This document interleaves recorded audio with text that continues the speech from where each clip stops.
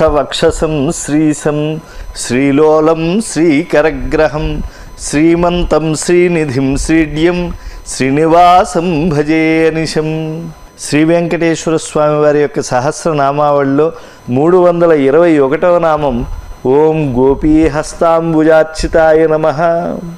ఆ గోపికలు కృష్ణుణ్ణి వీడి స్వామి మధురానగరం వచ్చే వరకు కూడా స్వామి వెంటే ఉన్నారు. కనుక గోపీ హస్తముల చేత ఆరాధింపబడ్డాడు కృష్ణుడు అని తలుచుకుంటే ఎన్నో లీలలను గుర్తు చేసుకోవాలి. పుట్టి పుట్టగానే మన యశోదమ్మ ఓ చిన్ని మగ శిశువుని కనిందిట అని చెప్పి పులకించిపోయి వచ్చినటువంటి వాళ్ళందరూ కూడా గోపికలు ఆ చంటి బిడ్డను ఎత్తుకుని చక్కగా వాళ్ళు కిందే దింపలేదు ఒకళ్ళ చేతుల్లోంచి ఒకళ్ళ చేతుల్లోకి ఒకళ్ళ చేతుల్లోంచి ఒకళ్ళ చేతుల్లోకి అలా మార్చుకుంటూ ఉంటే ఆ గోపికల చేతులన్నీ కూడా అరుణారుణంగా ఉంటాయి కనుక మన స్వామి నీలమేఘశ్యాముడు. నీలమేఘశ్యాముడు అంటే నల్లని వర్ణం కలిగినటువంటి వారు.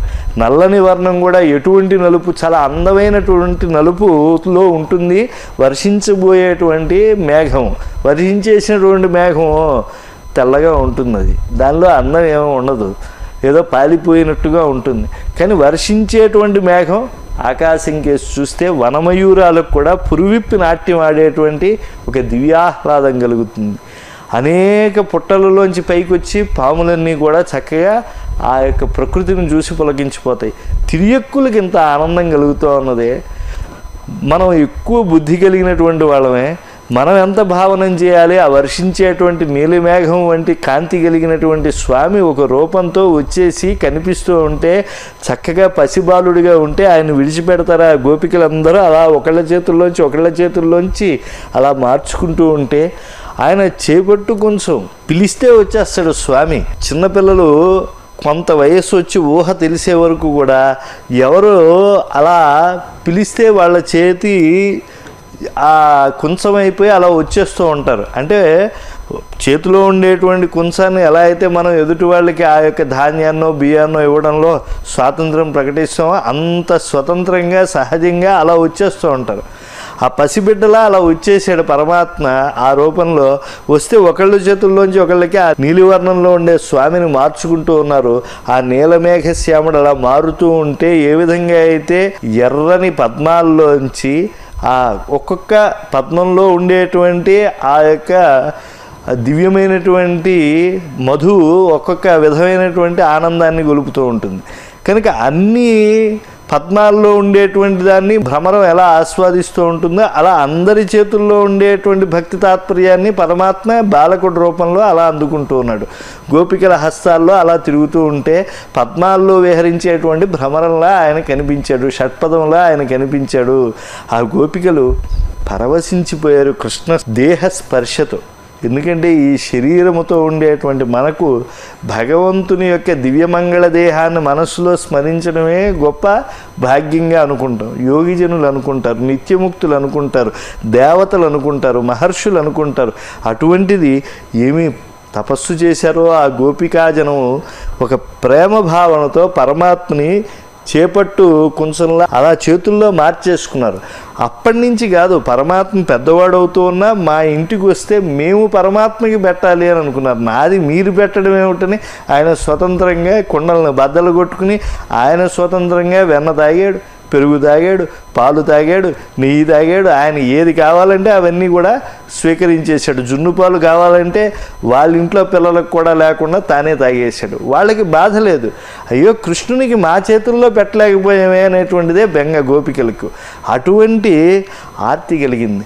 అలాగే అన్ని వయసులు వారికి. కృష్ణుని కన్నా వయసులో పెద్దవాళ్ళకి చిన్నవాళ్ళకి ఆయన వయస్సు కలిగినటువంటి వాళ్ళకి అందరికీ కృష్ణుని ఎందు ప్రేమే. కృష్ణుని ఏదో ఒక వాత్సల్య భావంతో ముట్టుకోవాలని చెప్పి వాళ్ళందరూ కూడా ఆ స్పర్శ కోసం అని చెప్పి అలా తప్పించిపోయారు ఓ మల్లియలార మీ పొదల చాటున లేడు కదమ్మ చెప్పరే ఎక్కడైనా దాక్కుంటాడు ఆయన. కాబట్టి ఎవరి దగ్గర ఉన్నాడో కృష్ణుడు అని చెప్పి సాటి గోపికలను తప్పులు పట్టడం ఆ మల్లె పొదల మధ్యలో ఆ కృష్ణుడు ఉన్నాడేమో అని చెప్పి అక్కడంతా కూడా అన్వేషించడం అంటే బృహదారణ్యంలో మనం ఏదైతే ఉపనిషత్తు ద్వారా తెలుసుకుంటామో అదంతా కూడా బృందారణంలో మనం ఉంది అని తెలుసుకోవాలంటే గోపికలు ఏ కృష్ణుని అయితే అన్వేషించారో ఆయన్ని స్పృశించాలి అని చెప్పి ఆయన్ని అర్చించాలి అని చెప్పి వాళ్ళంతా కూడా పరితపించారో.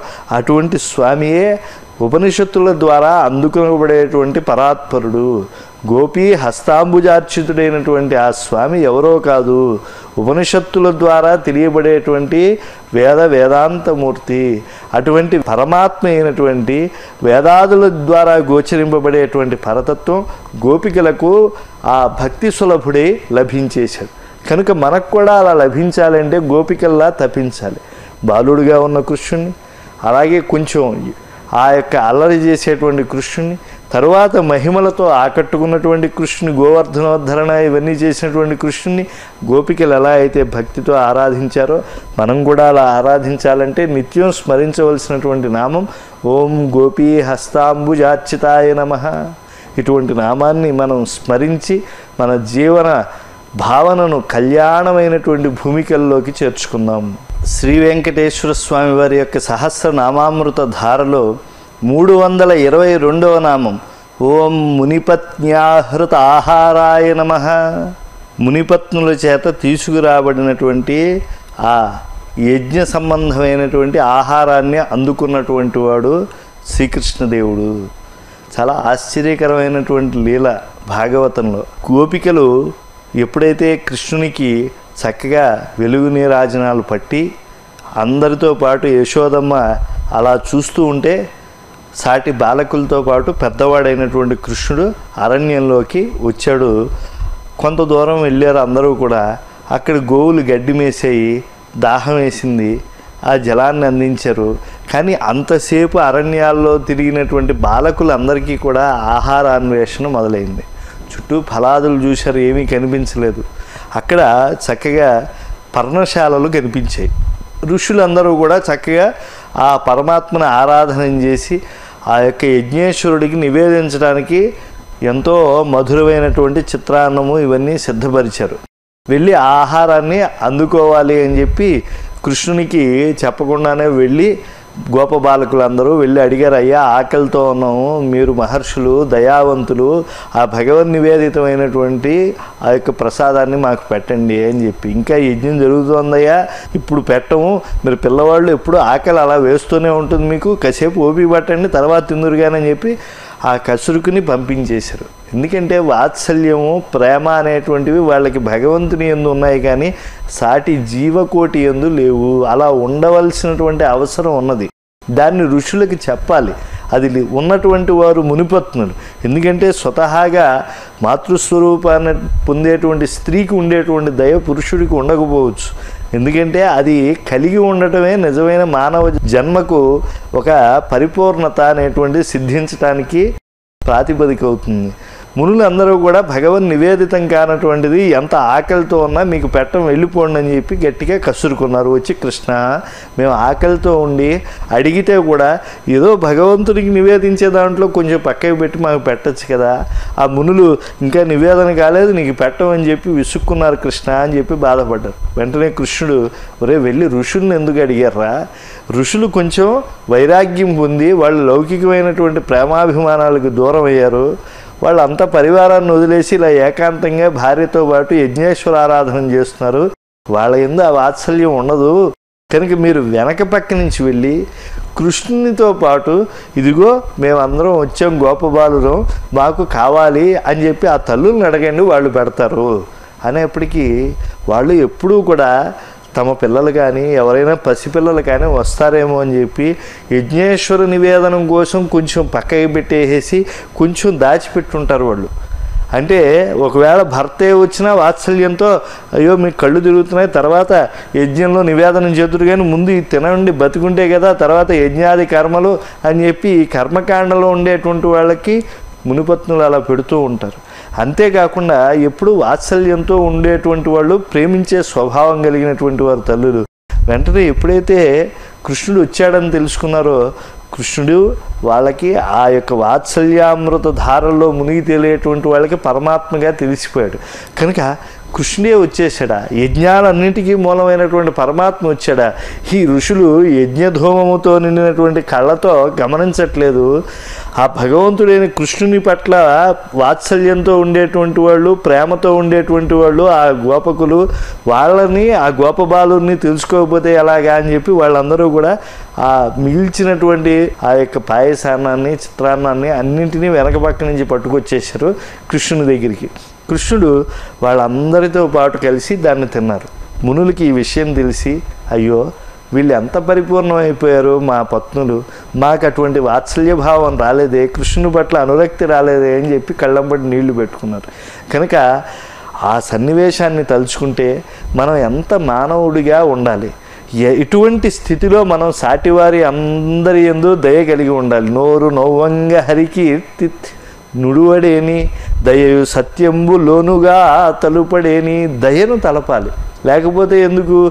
తల్లి యొక్క ఆరోగ్యాన్ని చెడగొట్టడానికి కాకపోతే వీడు పుట్టి ఈ భూమిపైన ఏమి ప్రయోజనం? కనుక మునిపత్నులకు ఆ యొక్క ఆశ్రితులైనటువంటి గోపబాలకుడు పట్ల గోపబాలు భగవంతుడితో అనుబంధం కలిగి ఉన్నారే అని చెప్పి వాళ్ళ పట్ల వాత్సల్యం కలిగిందో అటువంటి కృష్ణ భక్తులైనటువంటి ఆ మునిపత్నుల యొక్క దివ్యమైనటువంటి ఆ యొక్క భక్తి ప్రపత్తులు విశ్వాసం ఏవైతే ఉన్నాయో దాన్ని అంతా కూడా స్మరించేందుకు మనకు అనుసంధానమైనటువంటి గొప్ప నామం ఓం మునిపత్యాహృతాహారాయ నమ. మునిపత్నుల చేత తీసుకురాబడినటువంటి ఆహారాన్ని పొందినటువంటి స్వామి అని కీర్తిస్తే మన జీవనం తరించిపోతుంది. మనలో దయ అనేటువంటిది భగవత్ స్వరూపమై ఈరికలెత్తి మన మానవ జన్మలను మళ్ళా మళ్ళా పొందటానికి అనేటువంటిది లేకుండా చేసి పునరావృత్తి రహితమైనటువంటి మోక్ష సుఖానికి పాత్రుణ్ణి చేస్తుంది. శ్రీ వెంకటేశ్వర స్వామి వారి యొక్క సహస్రనామామృత ధారలో ఓం మునిశ్రేష్ఠాయ నమ. ఎంత అద్భుతమైనటువంటి నామం అండి. శ్రీనివాస స్వామి అనేకమైనటువంటి మునుల స్వరూపాన్ని ధరించినటువంటి వాడు. కేవలము ఆయన ఒక మౌన ముద్రలో వెంకటాచలంలో ఆనంద నిలయంలో ఉన్నాడు. అటువంటి ముద్రలోనే ఉన్నటువంటి వాడు ఆ వెంకటాద్రి కృష్ణుడు ద్వాపర యుగంలో కూడా. మునులందరూ కూడా ఆయన్ని ఆరాధించారు. మునులందరిలో ఆయన శ్రేష్ఠుడు. మనకి నరసింహస్వామి యొక్క వైభవాన్ని మనం తలుచుకుంటే ఆయన నరసింహస్వామిగా ఉన్నటువంటి వాడు ఆయన పూర్తిగా సింహముఖం నుంచి అంటే ప్రధానమైనటువంటి పవిత్రంగా ఆ రాక్షస సంహారం చేసినటువంటి ముఖభాగం నుంచి నారాయణుడు అనేటువంటి ఋషిగా వచ్చాడు. ఆ నరభాగం నుంచి ఒక నరుడు అనేటువంటి ఋషిగా వచ్చాడు. వాళ్ళు వేల సంవత్సరాలు తపస్సులు చేసి తరించిపోయారు. అందులో ఆ మునిశ్రేష్ఠుడైనటువంటి నారాయణుని యొక్క వైభవాన్ని గుర్తు చేసేటువంటిది ఓం మునిశ్రేష్ఠాయ నమ అనేటువంటి నామం. మామూలు నామం కాదు ఇది. ఈ నామము చేత మనం తరించిపోవచ్చు మానవ జన్మను పవిత్రీకరించుకోవచ్చు. ఈ నామాన్ని మనం మౌనంగా పఠిస్తూ ఉంటే చాలండి ఈ ఒక్క నామం మానవ జీవితాన్ని అభ్యుదయ పథంలోకి పునరావృతి రహితమైనటువంటి మోక్ష పథంలోకి నడిపించడానికి ఏం చెప్పి పెద్దలు చెప్పారు. మునులు ఎప్పుడూ కూడా లౌకికమైనటువంటి వాటి పట్ల దృష్టి కలిగి ఉండరు. యా నిషా సర్వభూతానాం తస్యాం జాగర్తి సంయమి ఎస్యాం జాగ్రతి భూతాని సా నిశా పశ్యతో మునేహే. ఉలూకం అనేటువంటిది ఉంటుంది అంటే గుడ్లగోబ. అది ఎప్పుడూ కూడా రాత్రిపూట మెలుకుగా ఉండి పొగటిపూట నిద్రపోతూ ఉంటుంది. ఈ రాత్రి అనేటువంటిది అంధకారంతో కూడినటువంటిది. ఏ వస్తువుని మనకి తెలియజేసేటువంటిది కాదు. అలాగే మనకి ఏది పవిత్రమైందో తెలియజేయనటువంటి స్థితి ఈ యొక్క రాత్రి. కానీ మునులకు రాత్రి మెళుకుగా ఉండడం పగలేమో నిద్రపోవటం అనేటువంటిది అలవాటు అని అంటే అది ఉలూకము వంటి జన్మ అని మనం అనుకోకూడదు. మనం ఏమని అనుకోవాలి? లౌకికమైనటువంటి వస్తువుల ఎందు ఆసక్తి లేకుండా మునులు వాళ్ళ యొక్క యోగ మార్గములో నడుస్తూ వాళ్ళు లౌకిక వస్తువుల పట్ల దృష్టి సారించరు. ఏదైతే దివ్య భూమికల్లో ఉండి పరమాత్మ యొక్క చేష్టితములనే లీలల్ని వాళ్ళు స్మరిస్తూ ఉంటారు అనేటువంటి తెలుసుకుంటారో వాళ్ళు మునులైపోతారు. అప్పుడు లౌకికంగా వాళ్ళు మాట్లాడినా పరిమితంగా ఉంటుంది ఏదో జీవనాన్ని గడపడానికి సరిపోతుంది. కానీ వాళ్ళ దృష్టి ఈ సృష్టిలో ఉండేటువంటి విషయాల పట్ల కాకుండా ఈ పంచభూతాధికారి అయినటువంటి శ్రీమన్నారాయణుని ఎందు ఉంటుంది. కనుక నరులలో అందులో విశేషించి మునుల్లో శ్రేష్ఠుడైనటువంటి నారాయణుని యొక్క నరనారాయణులో నారాయణుని యొక్క దివ్యస్మరణలో ముంచెత్తేటువంటి నామామృతం.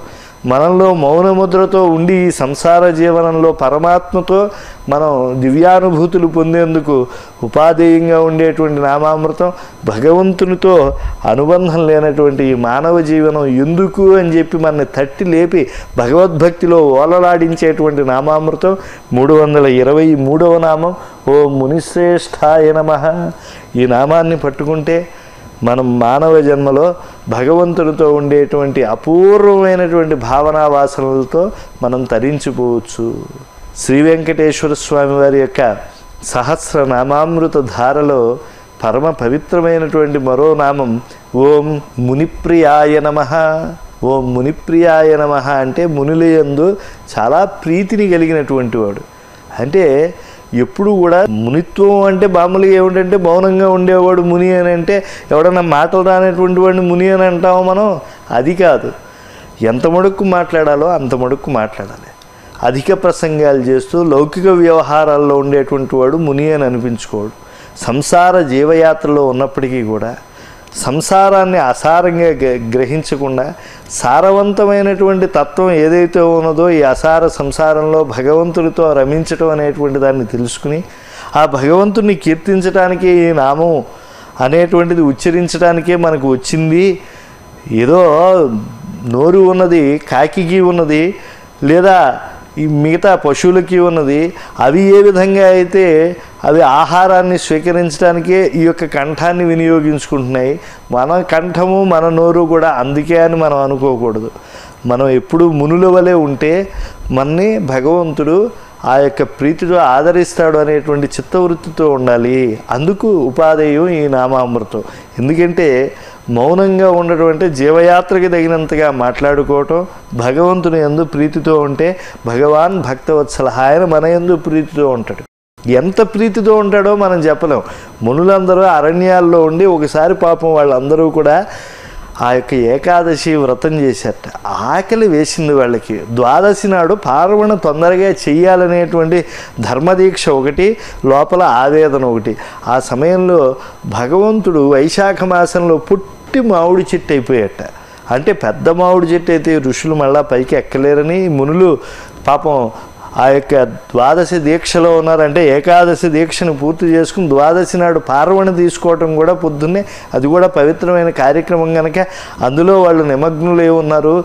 నాకు నివేదించి వాళ్ళు తినాలనుకుంటారు. పాపం వాళ్ళకి ఆహారం దొరకలేదని పుట్టి మామిడి చెట్టు అయిపోయేట స్వామి వెంటనే ఫలాదులు కోసుకుని భగవంతునికి సమర్పించి ఆ యొక్క ఫలాన్ని భగవన్ నివేదిత ప్రసాదంగా గ్రహిస్తూ ఫలంలో ఉండేటువంటి దివ్య అమృత మాధుర్యాన్ని వాళ్ళు గ్రోలారు. అంటే మహర్షుల యొక్క ఆర్తిని స్వామి తెలుసుకున్నాడు. మునిశ్రేష్ఠుల యొక్క ఆర్తిని ఆయన తెలుసుకున్నాడు.